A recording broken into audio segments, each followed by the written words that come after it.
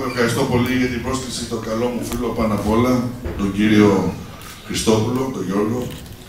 Εγώ ήρθα πιο πολύ γιατί συνεργαζόμαστε αυτόν τον καιρό. Δεν ξέρω, τα κομματικά είπες τα αφήνεις απ' έξω και καλά κάνεις. Αλλά πρέπει να Είναι πούμε... αυτοδιοικητικά τώρα.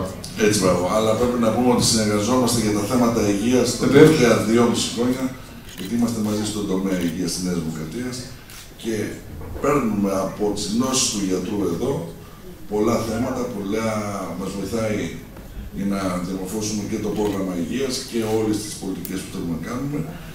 Και πραγματικά η εμπειρία που έχει στα ζητήματα αυτά είναι πολύ μεγάλη και βέβαια νομίζω ότι μπορεί να το αξιοποιήσει ο Δήμος εδώ, ο Βέρτυρος Δήμος, Ραφίνας και Μίου, πάρα πολύ καλά, αν και το έχει κάνει ήδη, πραγματικά με το κέντρο υγείας το οποίο έχει δημιουργηθεί στη Ραφίνα, για ένα κόσμημα, συγχαρητήρια για αυτό που φτιάξατε, συγχαρητήρια,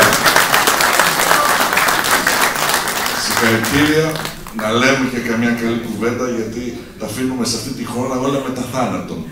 Ας τα πούμε και όταν πρέπει.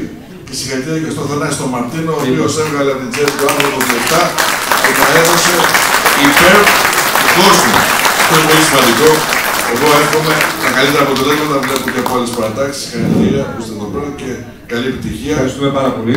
Εύχομαι καλή επιτυχία και στον Νίκο τον Πέπα που είναι περιφερειακός σύμβουλος υποψήφιος και στον Δημήτρη Κατσίκη που είναι εδώ από την περιοχή μας και σε όλους όσους πολιτεύονται. Να είστε καλά. Ευχαριστούμε πάρα πολύ κύριε Γιώργο.